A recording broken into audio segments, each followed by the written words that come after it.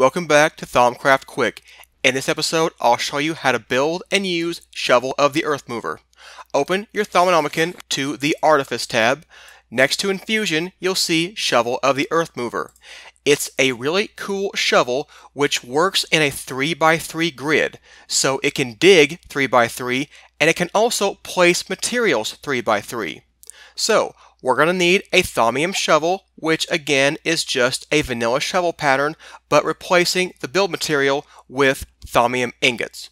We need two earth shards, a diamond, and a greatwood log with some Fabrico and some Terra. I got the Terra from Netherrack and the Fabrico from crafting tables. So, I've already placed the items, they're already balanced. So, let's take our wand. And again, the instability here is negligible, so not expecting any problems with flux here.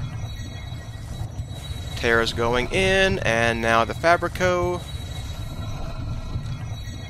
And now, let's see, it's breaking down that shard, and another one. And then the diamond.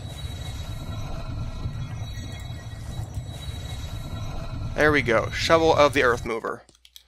Alright, let's scan that real quick. Alright, so let's go see what it can do. So, I told you it has the ability to dig in a 3x3 grid. What I mean by that is this. Look at that. Really cool way to break up dirt. And it can only, it doesn't have to dig just down, it can dig straight through as well. Now, if I want to place some of that back, I can right click, assuming you have the material in your inventory. So I've got plenty of dirt right now. If you want, you can hold down the G key and you'll see, sorry, the Shift key, and you'll see what area it's going to work on right now. It's generally a 3x3 grid surrounding the block face you're pointing at and the direction you're hovering over. So I'm facing this block right here, so I'm going to go in front of me. If you hit G, you can change the orientation as well. But that's the default right there.